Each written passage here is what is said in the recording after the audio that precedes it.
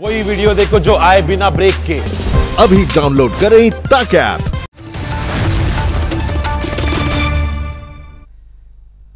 आज दिल्ली के लिए अहम दिन है। मसला सांसों का है, मुद्दा पुलिस के अधिकारों का है, सवाल वकीलों के बेकाबू होने का है और दिल्ली में कल से गुस्से से आग बबूला पुलिस के जवान काम पर लौट आए हैं। अफसरों के आश्वासन के बाद जवानों ने ड्यूटी ज्वाइन कर ली है। उधर वकील अब भी हड़ताल पर डटे हुए हैं। प्रदूषण पर आज फिर कोर्ट में दलीलों का दौर है और इवन नंबर की आज आप गाड़ी निकाल सकते हैं क्योंकि आज छह तारीख है। अगर आपके पास ऑड नंबर की गाड़ी है तो उसे घर पर ही रखिए क्योंकि आप कर, आप पर मोटा चालान कट सकता है अगर आप ऑड नंबर की गाड़ी निकालते हैं। खाकी वर्दी और काले कोट के दंगल पर आज दिल्ली हाई कोर्ट सुनवाई करेगा। इससे पहले मंगलवार को 10 घंटे बाद पुलिस वालों ने अपना धरना खत्म कर दिया। अधिकारियों से मांगे पूरी होने का आश्वासन मिलने के बाद पुलिस वाले धरना खत्म करने को राज़ी हुए।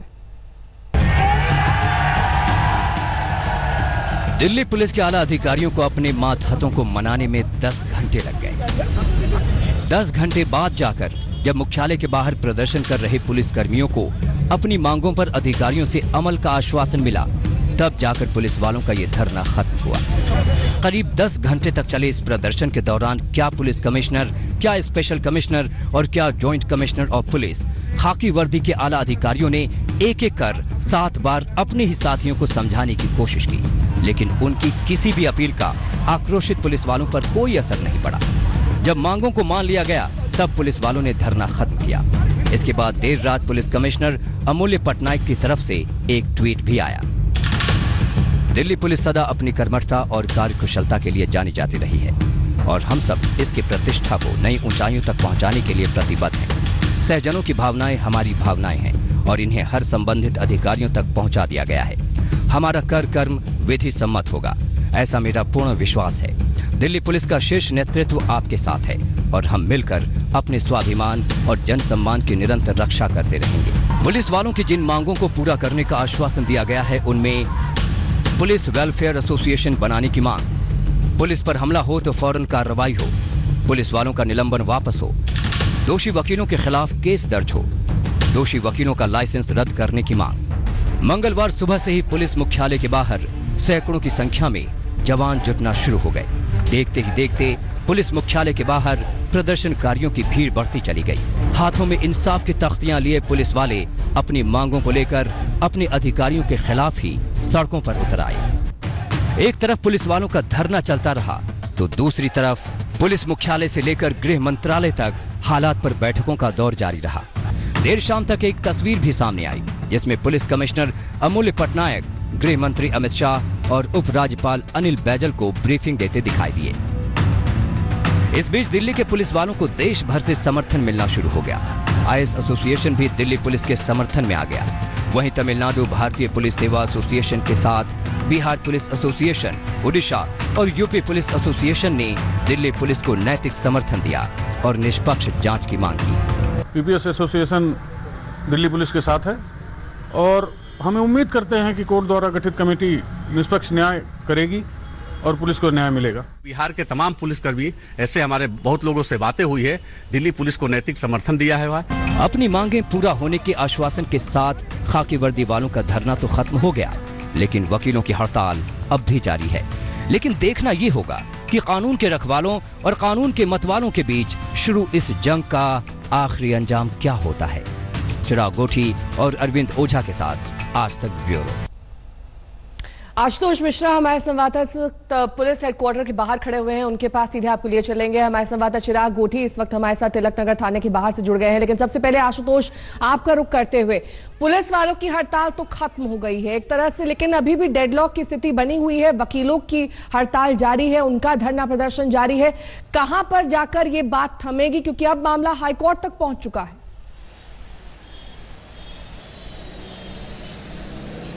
और हाईकोर्ट में दरअसल चूँकि पुलिस ने कहा कि अपने अधिकारियों, अपने जवानों, अपने कर्मचारियों के हक में जाकर के वो रिव्यू पिटीशन फ़ाइल करेंगे कि आखिर जो सस्पेंशन जिन पुलिस वालों को निलंबित किया गया था, तीस हजारी कोर्ट के मामले में वो निलंबन वापस हो, उस कार्यवाही को रद्द किया जाए, साथ ही वकीलों के खिलाफ कार्यवाही हो। लेकिन आज कम से कम दिल्ली के लिए एक अच्छी तस्वीर ये होगी नेहा, जो दिखाना भी ज़रूरी है कि जो पुलिस वाले कल धरने पे थे अपने अधिकारों को लेकर के, ऐसे में सवाल उठा कि अगर रक्षा करने वाले धरने पर होंगे तो दिल्ली की हिफाजत कौन करेगा? ये पुलिस हेडक्वार्टर की तस्वीरें हैं, जहाँ पर कल दंगल हो रहा था। आज तमाम पुलिस वाले काम पर लौट आए हैं। और अमूमन हर जगह, जितने भी थाने, हर जगह पुलिस वाले लौटे हैं। मांग वही है, वही पुरानी कि जिन वकीलों के चेहरे सामने आए हैं, कम से कम उनके खिलाफ कार्रवाई हो। तीस हजारी कोर्ट के मामले में जुडिशियल जाँच बैठी हुई है। लेकिन आपको याद हो कड़कड़डूमा की वो तस्वीर जहाँ पर पुलिस वाले को वकील पिटाई करे जिनका चेहरा तक पहचाना गया, अब तक उनकी गिरफ्तारी नहीं हो पाई है। पुलिस वालों को और उसमें लीडरशिप क्राइसिस कि पुलिस कमिश्नर को आने में समय लग गया। गृह मंत्री ने अब तक एक बयान नहीं दिया, जिनके अंदर सीधे पुलिस आती है। केंद्र सरकार की चुप्पी बैठकों का दौर लीडरशिप क्राइसिस और केंद्र सरकार की चुप्पी भी पुलिस वालों का मनोबल तोड़ती है। मांग इतनी है कि कार्रवाई हो इंतज़ार है पुलिस वालों का कि जो आरोपी वकील हैं उनके खिलाफ कार्रवाई होगी क्या? वहाँ वकील धरने पर बैठ गए कि भाई जो पुलिस वाले गलत कर रहे हैं उनको उनका सस्पेंशन बरकरार रहे और बाकी जो दो आईपीएस अधिकारी हैं उनको भी सस्पेंड किया जाए। चिराग और करेंगे। चिराग जिस तरह से आशुतोष बता रहे हैं कि पुलिस वालों को ये मलाल है कि उनकी सुनवाई नहीं हो रही है और जो आरोपी वकील है उनके खिलाफ कार्रवाई नहीं हो रही है। कब तक ये कार्रवाई हो सकती है ताकि ये जो डेडलॉक की स्थिति है वो खत्म हो सके और धरना खत्म हो सके वकीलों का, क्योंकि काम भी प्रभावित हो रहा है कोर्ट्स में।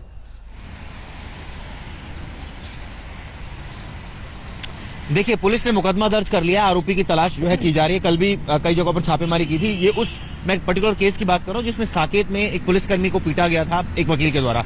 इसके अलावा पहले मैं आपको माहौल दिखाना चाहूँगा। मैं तिलक मार्ग थाने पर मौजूद हूँ। यहाँ पर आप देखिए, तमाम दिल्ली पुलिस के अधिकारी मौजूद हैं और यहाँ पर सब काम पर लौट आए और यही वो पुलिसकर्मी थे जो कल सड़कों पर थे और कहीं ना कहीं विरोध प्रदर्शन कर रहे थे अपनी मांगों को लेकर जो है एक तरह से वहाँ बैठे हुए थे और हज़ारों की संख्या में तो सबसे बड़ी बात यह है कि न सिर्फ़ पुलिस कमिश्नर बल्कि तमाम स्पेशल सीपीज ज्वाइंट सीपीज मौके पर पहुँचे। उन्होंने ये कहा एश्योर किया कि इनकी मांगों को माना जाएगा। इसमें जो चार पाँच मांगे जो मानी गई जिसमें रिव्यू पिटिशन दाखिल करने की बात की कही गई है वो आज दाखिल की जाएगी।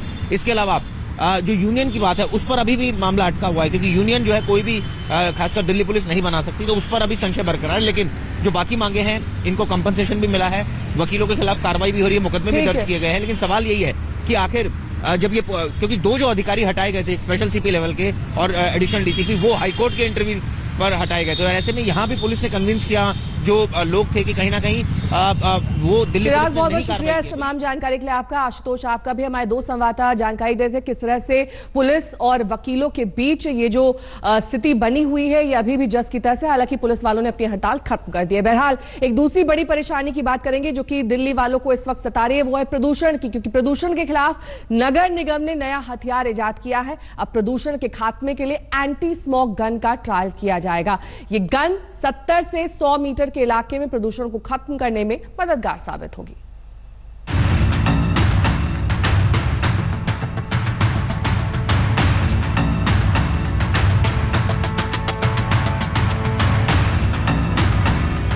दिल्ली वालों की सांसों के दुश्मन, प्रदूषण का अब होगा अंत। क्योंकि दिल्ली के दुश्मन बने प्रदूषण पर अब बरसेगी एंटी स्मोक गन दिल्ली को धुएँ की चादर में लपेटने वाले प्रदूषण को ये गन अपनी बौछारों की बुलेट से कुछ इस तरह चीर देगी। जैसे ही ये गन आसमान की तरफ़ अपनी बौछारें बरसाएगी, प्रदूषण की चादर छटती चली जाएगी। इस गन की खास बात यह है कि कुछ ही सेकंड के भीतर ये एक खास स्पॉट के प्रदूषण का लेवल तेज़ी से खत्म कर देती है। दिल्ली में प्रदूषण से निपटने के लिए दिल्ली नगर निगम ने एक अनोखी पहल की है। एंटी स्मॉग मशीन को यहाँ पर लाया गया है और ये मशीन थोड़ी देर में ही प्रदूषण को खत्म कर देगी। यहाँ पर आप देखेंगे, ये क्लाउड टेक की ये मशीन है, इसका ट्रायल चल रहा है और इसकी जो रेंज है, वो 100 मीटर है। पानी की जो फुहारे हैं, वो बहुत दूर तक जाती है। वो देखिए सामने, पेड़ों में किस तरह से पानी की फुहारे जा रही है और इससे आसपास का सारा प्रदूषण खत्म हो जाएगा। इस गन के ज़रिए 70 से 100 मीटर तक के एरिया में पानी की बौछार गिरती है। इन बौछारों से धूल और प्रदूषण के कण ज़मीन पर गिर जाते हैं। ये गन एक खास रिमोट से चलती है और पानी के टैंकर का इस्तेमाल करती है। इसकी रेंज कम से कम 70 से 100 मीटर के बीच में है। और जितना भी ये फाइन पार्टिकल्स आप देख रहे हैं ये फाइन नोजल से हम पानी को प्रेशराइज करके निकाल रहे हैं और उसके बाद बहुत हाई प्रेशर इम्पेलर फ़ैन लगा हुआ है जो इसको पानी की बुचार को 50 से 100 मीटर की दूर फेंक रहा है। दिल्ली में प्रदूषण के बढ़ते कहर के बीच इस एंटी स्मोक गन का ट्रायल किया गया। नगर निगम जल्द ही इस गन के बारे में फैसला ले सकता है। लेकिन गन के मैदान में उतरने से पहले ही सियासत का मैदान तैयार हो गया है और विपक्ष ने नगर निगम पर आरोप लगाना शुरू कर दिया है। दिल्ली की जनता वायु प्रदूषण से आज जूझ रही है। दिल्ली सरकार विज्ञापन में खोई हुई है और आर वन का बहाना है। लेकिन नगर निगम ज़मीन पे काम कर रही है।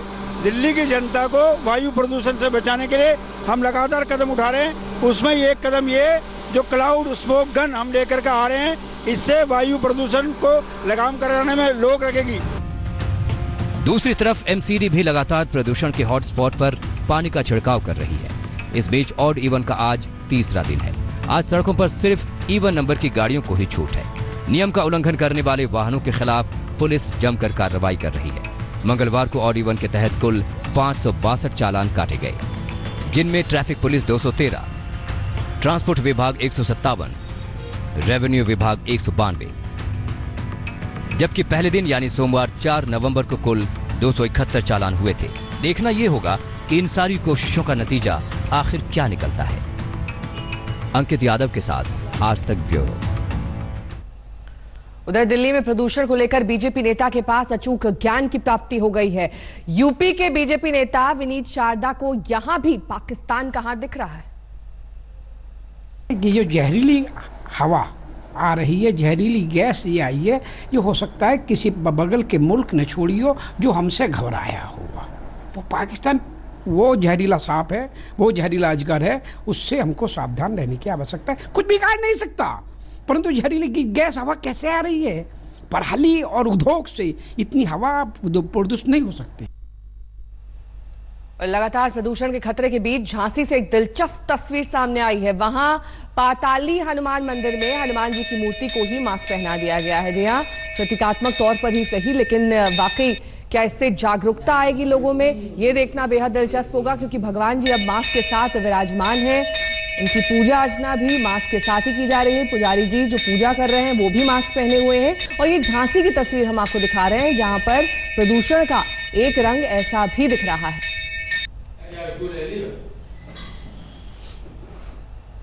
अमृतसर में पूर्व मंत्री नवजोत सिंह सिद्धू और पाकिस्तान के प्रधानमंत्री इमरान खान के पोस्टर सामने आए हैं। करतारपुर कॉरिडोर खुलवाने के लिए इन पोस्टरों में दोनों को हीरो बताया गया है। हिंदुस्तान की ज़मीन पर इमरान खान के पोस्टर।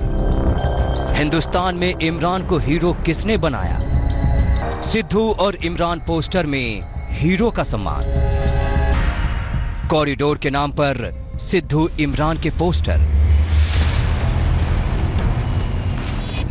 पंजाब की सड़कों पर लगे पाकिस्तान के प्रधानमंत्री इमरान खान और प्रदेश के पूर्व मंत्री नवजोत सिंह सिद्धू के पोस्टर ने सियासत का पारा सातवें आसमान पर चढ़ा दिया है। पंजाबी भाषा में लिखे इन पोस्टरों में नवजोत सिंह सिद्धू और इमरान खान दोनों को असली हीरो बताया गया है। जानकारी के मुताबिक वेरका से कांग्रेस पार्षद हरपाल सिंह ने ये पोस्टर लगाए हैं। हरपाल सिंह के मुताबिक वो करतारपुर कॉरिडोर खुलवाने के लिए दोनों की तरफ़ से की गई कोशिशों पर उन्हें बधाई देना चाहते हैं। इसका मकसद तो कोई नहीं है ये तो प्रोग्राम के बारे में है अभी जो लांगा खुलने वाला है नौ तरीक को।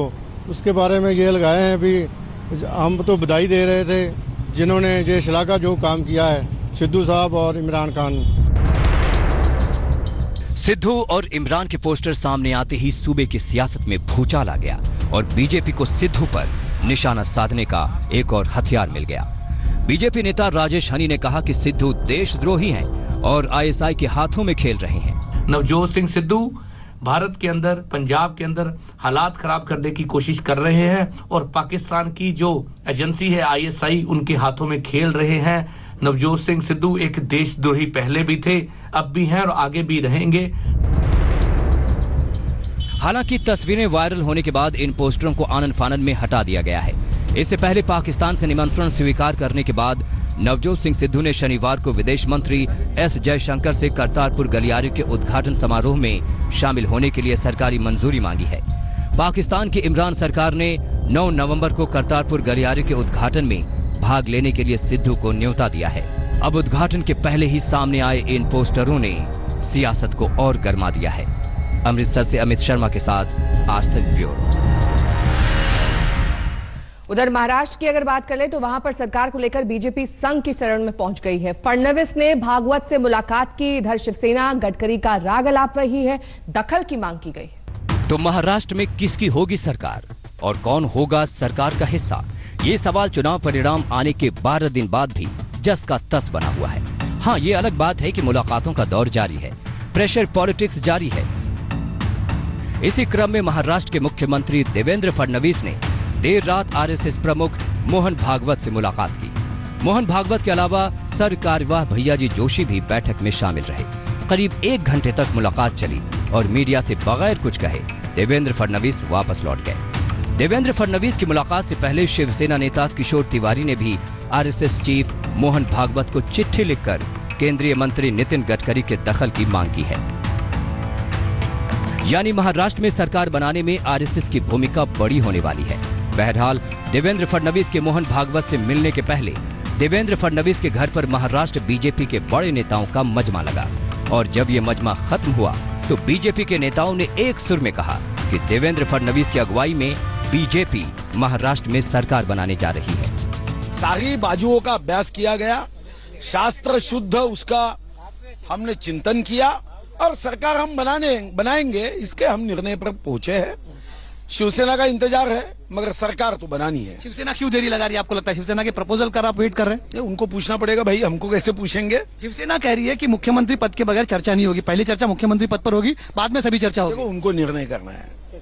अब ये निर्णय तो उनको करना है हम इंतज़ार करेंगे। महाराष्ट्र की जनता ने भारतीय जनता पार्टी शिवसेना महायुति को जनादेश सरकार स्थापन करने के लिए दिया है। इस जनादेश का आदर करते हुए जल्द ही हम महाराष्ट्र में सरकार स्थापन करेंगे। इधर बीजेपी अपने सारे कील कांटे दुरुस्त करके सरकार बनाने की तैयारी में है और उधर शिवसेना प्रमुख उद्धव ठाकरे महाराष्ट्र के किसानों से घूम घूम कर उनकी समस्याएँ ऐसे सुन रहे हैं जैसे महाराष्ट्र के अगले सरकार वो खुद हैं। शिवसेना अड़ी हुई है कि राज्य में 50-50 फॉर्मूला के तहत ढाई ढाई साल के लिए दोनों पार्टियों का मुख्यमंत्री हो। माना जा रहा है कि बीजेपी इस बात पर तो सहमत है कि मंत्रालय में शिवसेना की हिस्सेदारी 50 फ़ीसदी हो, मगर मुख्यमंत्री और गृह मंत्री बीजेपी का ही होगा, वो भी पूरे पाँच साल तक। तो मुख्यमंत्री जी ने अनाउंस किया है कि फिफ्टी फिफ्टी परसेंट सत्ता में भागीदारी देने के प्रस्ताव को मंजूरी हम दे रहे हैं। और उसके साथ साथ जो पीडब्ल्यूडी है रेवेन्यू है हाउसिंग डिपार्टमेंट है अर्बन डेवलपमेंट है, ऐसे जो कोई इम्पोर्टेंट जो पोर्टफोलियो है, वो भी आधे आधे देने के लिए उनकी तैयारी है। खाली बीजेपी का कहना इतना ही है कि हम मुख्यमंत्री पद और होम मिनिस्ट्री नहीं दे देंगे। तो इस प्रस्ताव पर शिवसेना ने थोड़ी सी भूमिका बदलनी चाहिए। आठ वाले नसीहत दे रहे हैं कि शिवसेना को बीजेपी की बात मान लेनी चाहिए। मगर दूसरी तरफ़ चुनाव में हार के बावजूद एनसीपी कांग्रेस का गठबंधन मुस्कुराते हुए माहौल को भांप रहा है। किसानों को मदद दिलाने के बहाने एनसीपी कांग्रेस के नेता राजभवन होकर लौटे, लेकिन उनके नेता अपने पत्ते खोलने को राज़ी नहीं दिखे। महाराष्ट्र की मौजूदा सरकार का कार्यकाल 9 नवंबर को खत्म हो रहा है। यानी समय अपनी रफ्तार से बढ़ रहा है और सरकार बनाने का निर्णय लेने का वक्त घट रहा है। बीजेपी ही नहीं, शिवसेना नेताओं के भी धैर्य का इम्तहान हो रहा है। विदर्भ से आने वाले शिवसेना नेता किशोर तिवारी ने आरएसएस चीफ मोहन भागवत को चिट्ठी लिखकर केंद्रीय मंत्री नितिन गडकरी के दखल की मांग की है। मुंबई से मुस्तफ़ा शेख, दिव्येश और कमलेश सुतार के साथ आज तक ब्यूरो। प्रयागराज की बात करेंगे, जहाँ पर एक कॉलेज में छेड़खानी को लेकर महाभारत छिड़ गई है। कुछ लड़कों ने छात्राओं के साथ छेड़खानी करने की कोशिश की। शिक्षकों ने उन्हें रोका तो आरोपियों ने उन पर लाठी डंडे बरसा दिए।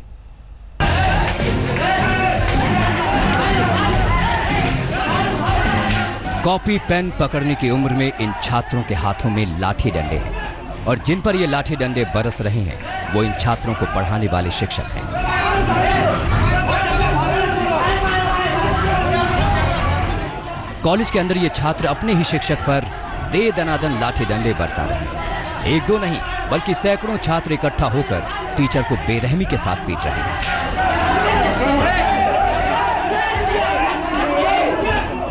टीचर को खदेड़ खदेड़ कर ज़मीन पर गिरा गिरा कर पीटा जा रहा है। लात घूसे लाठी डंडे और भद्दी भद्दी गालियों से कॉलेज कैंपस में कोहराम मचा हुआ है।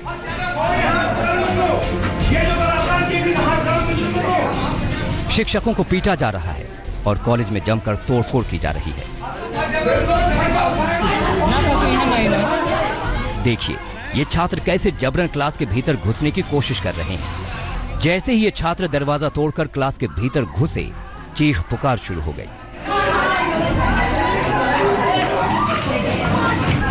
छात्रों ने आव देखा न ताव और शिक्षक को पीटना शुरू कर दिया। तस्वीरें प्रयागराज में सोराव के आदर्श जनता इंटर कॉलेज की हैं, जहाँ चेकअप के कार्यक्रम का आयोजन किया गया था। इस आयोजन में लड़कियों ने भी हिस्सा लिया। इस बीच कुछ लड़के लड़कियों के साथ बदतमीजी करने लगे। छात्राओं ने इसकी शिकायत शिक्षकों से की तो उन्होंने कुछ लड़कों को पीट दिया। बस, फिर क्या था? कुछ देर बाद आरोपी छात्र अपने साथियों के साथ कॉलेज पहुँचे और हंगामा बवाल शुरू कर दिया। पहले आरोपी छात्रों ने कॉलेज में तोड़फोड़ की और फिर शिक्षकों को निशाना बनाया। आरोपी छात्रों ने शिक्षकों को जमकर बेरहमी से पीटा। बाकी शिक्षक छात्रों को समझाने की कोशिश करते रहे, लेकिन उन्होंने किसी की एक नहीं सुनी और शिक्षकों के साथ जमकर मारपीट की। मुकदमा पंजीकृत कर लिया गया सराव थाने में पाँच अज्ञात और कुछ पाँच नामजद और कुछ अज्ञात लोगों के विरुद्ध। उसमें पुलिस की दबिश की कार्रवाई चल रही है। इन्होंने बहुत गलत काम किया है, वहाँ तोड़ फोड़ किया, मारपीट किया है इस मारपीट और हंगामे में कई लोगों को चोटें आई हैं। पुलिस ने पाँच नामजद और कई अज्ञात लोगों के खिलाफ केस दर्ज की कार्रवाई शुरू कर दी है। लेकिन इन युवकों ने जिस तरह से कॉलेज के भीतर घुसकर इस वारदात को अंजाम दिया है, उससे छात्राओं में दहशत का माहौल है। पंकज श्रीवास्तव, प्रयागराज, आज तक। अगर हिम्मत और हौसला हो तो हथियार भी आगे, उनके आगे बेकार साबित हो जाते हैं। अमृतसर में एक ऐसा ही वारदात सामने आई है, जहाँ पिस्टल और चाकू लेकर लूट के इरादे से आए बदमाशों को एक युवक ने अपनी जाबाजी से भागने पर मजबूर कर दिया। अमृतसर के टेलर रोड पर दो नकाब पोश बदमाश लूट के इरादे से एक मनी एक्सचेंजर के दफ्तर में दाखिल होते हैं। एक बदमाश के सिर पर काले रंग का हेलमेट होता है। और दूसरे बदमाश ने भी अपना चेहरा रुमाल से ढका होता है। मनी एक्सचेंजर के दफ्तर में घुसते ही एक लुटेरा पिस्तौल निकालकर दफ्तर में बैठे युवक पर तान देता है। तो दूसरा चाकू निकालकर युवक को डराने लगता है। इसके बाद दोनों लुटेरे युवक से पैसे निकालने के लिए कहते हैं। लेकिन इन लुटेरों के सामने कुछ ऐसा होता है, जिसके बारे में इन्होंने सोचा तक नहीं होगा। इन लुटेरों ने सोचा था कि पिस्तौल और चाकू के दम पर दुकान के भीतर बैठा भूपेंद्र नाम का ये युवक डर जाएगा और सारे पैसे उनके हवाले कर देगा। लेकिन यहाँ ऐसा कुछ नहीं हुआ। अपनी मौत की परवाह किए बिना भूपेंद्र नाम का ये युवक लुटेरों से भिड़ गया। भूपेंद्र ने हाथ में चाकू थामे लुटेरे को पकड़ा और उसे दुकान से बाहर खदेड़ना शुरू कर दिया। भूपेंद्र का हौसला देखकर पिस्तौल थामे लुटेरे की हिम्मत जवाब देने लगी। भूपेंद्र ने दोनों लुटेरों को खदेड़कर दुकान के बाहर जाने पर मजबूर कर दिया इस बीच लुटेरों ने भूपेंद्र पर चाकू से हमला किया और उसे घायल कर दिया लेकिन इतना होने के बावजूद भी भूपेंद्र ने हिम्मत नहीं हारी और लुटेरों को बिना लूट के ही भागने पर मजबूर कर दिया ਸਰ ਮੈਂ ਆਫਿਸ 'ਚ ਬੈਠਾ ਸੀਗਾ ਆਪਣੇ ਨਾਲ ਦੇ ਪਾਸੇ ਆਪਣਾ ਆਫਿਸ ਹੈ ਉੱਥੇ ਬਾਹਰ ਬਾਹਰ ਝੜਪ ਕਰਦੇ ਪਏ ਸੀ ਮੁੰਡੇ ਪਟਾਕਾ ਚੱਲਣ ਦੀ ਆਵਾਜ਼ ਆਈ ਹੈ ਆਪਾਂ ਸੋਚਿਆ ਪਟਾਕਾ ਹੀ ਚੱਲਿਆ ਲੇਕਿਨ ਬਾਹਰ ਆਏ ਤੇ ਦੋ ਜਣੇ ਲੜਦੇ ਪਏ ਸੀ ਤਿੰਨ ਜਣੇ ਇੱਕ ਬਾਈਕ ਤੇ ਬੈਠਾ ਸੀ ਦੋ ਜਣੇ ਇੱਕ ਮਾਲਕ ਸੀਗਾ ਤੇ ਇੱਕ ਦੋ ਲੜੇਰੇ ਦੇ ਨਾਲ ਦਾ ਸੀ ਜਿਹੜਾ ਵੀ ਉਹ ਵੀ ਤੇ ਉਹਨੇ ਮੂੰਹ ਤੇ ਰੁਮਾਲ ਬੰਨਿਆ ਸਿਰ ਤੇ ਟੋਪੀ ਪਾਈ ਸੀ लुटेरों के हमले में भूपेंद्र बुरी तरह से घायल हो गया और अस्पताल में उसकी हालत नाजुक बनी हुई है फिलहाल पुलिस ने सीसीटीवी फुटेज के आधार पर बदमाशों की तलाश शुरू कर दी है लेकिन जिस तरह से युवक ने जांबाजी दिखाई है उसकी हर तरफ तारीफ हो रही है अमित शर्मा अमृतसर आज तक उत्तराखंड के विकास नगर में एक निजी कंपनी के इलेक्ट्रिक गोदाम में भीषण आग लग गई। देखते ही देखते आग ने पूरे गोदाम को अपनी चपेट में ले लिया। गोदाम धू धू कर जलने लगा। गोदाम में आग लगते ही चारों तरफ़ हड़कंप मच गया और आनंद फानंद में फायर ब्रिगेड को बुलाया गया। इसके बाद आधा दर्जन से ज़्यादा फायर ब्रिगेड की गाड़ियाँ मौके पर पहुँची। आग पर पानी, आग काबू पाने की कोशिश की, लेकिन जब तक आग बुझी तब तक पूरा गोदाम जलकर खाक हो चुका था। आग लगने के पीछे शॉर्ट सर्किट को वजह बताया जा रहा है।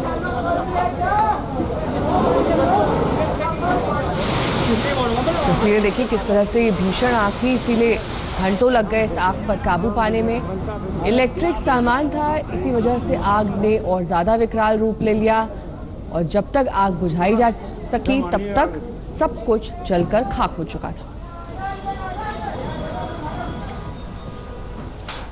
चिली के सैंटियागो प्रांत में सरकार विरोधी प्रदर्शनों का दौर अब भी जारी है। प्रदर्शनकारियों और पुलिस के बीच हिंसक झड़प हो रही है, ऐसे में एक वीडियो सोशल मीडिया में वायरल हुआ है। इस वीडियो में एक प्रदर्शनकारी वाटर कैनन ट्रक पर चढ़कर गन तस्वीरों में भी आप देख सकते हैं कि प्रदर्शनकारी कैसे वाटर टैंकर पर चढ़कर गन को खाने की कोशिश कर रहा है और इस दौरान वाटर कैनन से पानी भी बरसता है। सड़क पर खड़े उसके बाकी साथी टैंकर पर पत्थर बरसाते हैं।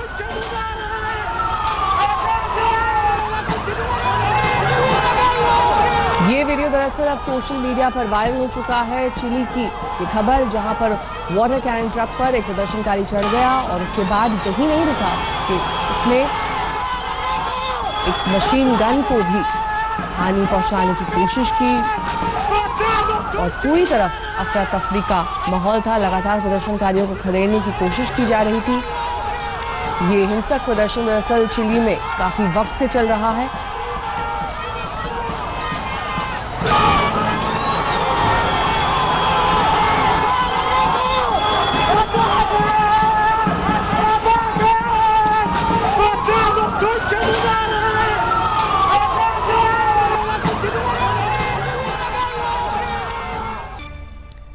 सरकार ने नेहरू की विरासत से जैसे कांग्रेस को मुक्ति कर दिया है। दिल्ली में नेहरू म्यूज़ियम मेमोरियल और लाइब्रेरी की सोसाइटी के पुनर्गठन में तीन कांग्रेसियों को बाहर का रास्ता दिखा दिया गया है। मल्लिकार्जुन खड़गे, करण सिंह और जयराम रमेश अब सोसाइटी के सदस्य नहीं है। इनकी जगह सरकार के चहेते सेंसर बोर्ड अध्यक्ष प्रसून जोशी, बीजेपी नेता अनिर्बान गांगुली को जगह दी गई है। प्रधानमंत्री सोसाइटी के अध्यक्ष हैं, जबकि राजनाथ सिंह इस की उपाध्यक्ष और गृह मंत्री अमित शाह, निर्मला सीतारमन और प्रकाश जावड़ेकर सदस्य हैं। आशुतोष मिश्रा हमारे संवाददाता इस सब तमाम जानकारी के साथ हमारे साथ जुड़ गए हैं। आशुतोष, पहले तो कई सड़कों के नाम बदले गए, उसके बाद अब म्यूज़ियम तक से नेहरू परिवार का नामो निशान मिटाया जा रहा है। इस तरह के आरोप सरकार पर पहले भी लगते रहे इसके बावजूद इस तरह का कदम क्या मंशा है?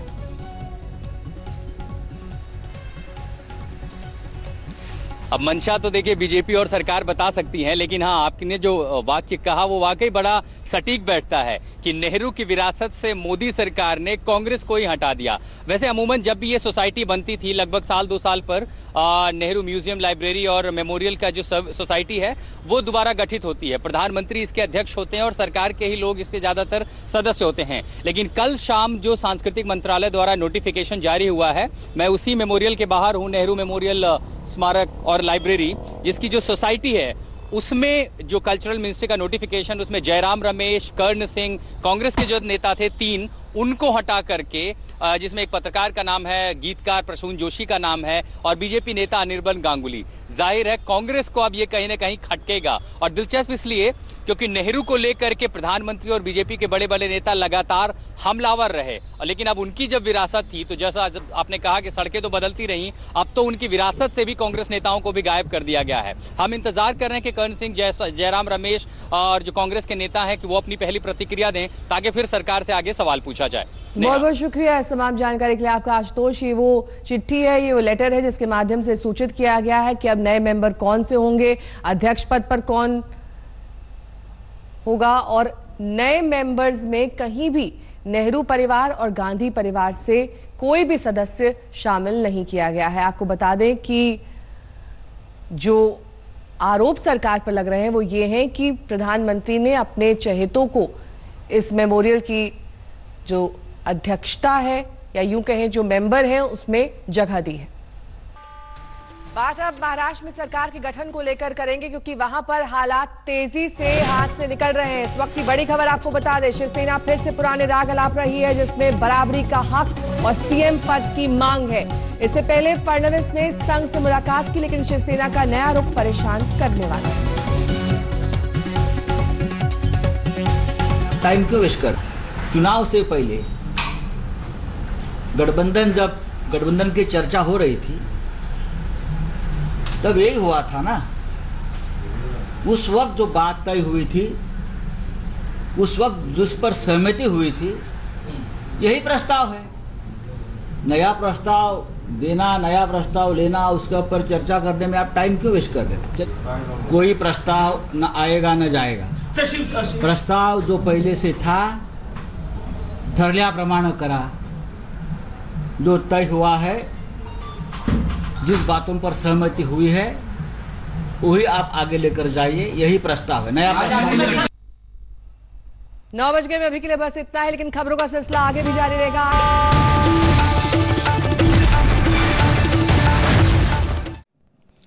लेटेस्ट खबरों के लिए यूँ ही देखते रहिए आज तक। और इस वीडियो के पसंद आने पर लाइक शेयर एंड सब्सक्राइब करना ना भूलें।